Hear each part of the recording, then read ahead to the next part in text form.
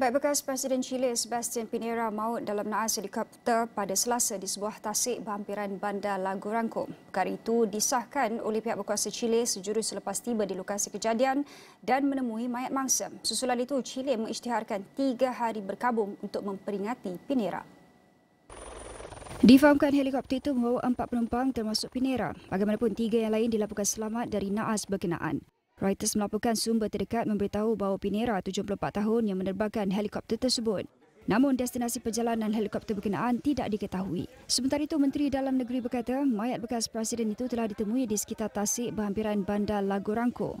Pinera dikenali sebagai ahli perniagaan yang berjaya ketika penggal pertamanya dirangsang oleh pertumbuhan ekonomi yang pesat. Bagaimanapun ketika menjadi Presiden, Pinera sentiasa berdepan protes kumpulan pelajar terutamanya berkaitan pembaharuan pendidikan.